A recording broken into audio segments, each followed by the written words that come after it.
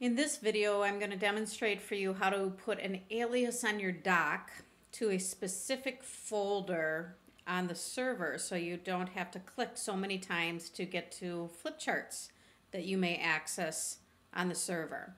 So the first thing you're going to want to do here is connect to staff groups. So you click on the Go menu, go down to Connect to Server, and you're going to type in the server address, staff.hopkins.k12.mn.us, click connect, and you're going to enter your username and password. So I will type in my password, click on the connect button again, and then the um, shared resources for Promethean are on staff group, so I'm going to choose that option.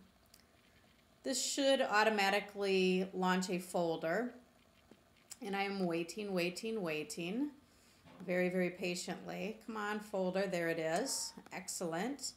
And as you are probably well aware, you have to click through many, many um, folders to get to the actual folder that has the flip charts you want. So I'm going to click on district, then I go to whiteboard teachers, and then I go to shared flip chart. And you actually, for example, if you're a sixth grade teacher, you may want to go directly to the sixth grade folder. But um, in general, this is the one that I usually go to.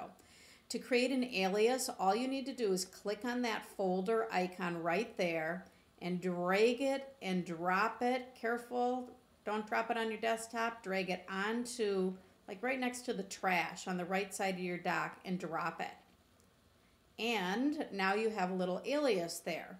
So now I'm completely disconnected from the server and if I click on this alias, it shows me all the subfolders in there. I click on open in Finder, prompted to put in my username and password, so I type in my password and it will automatically open me right to that particular folder.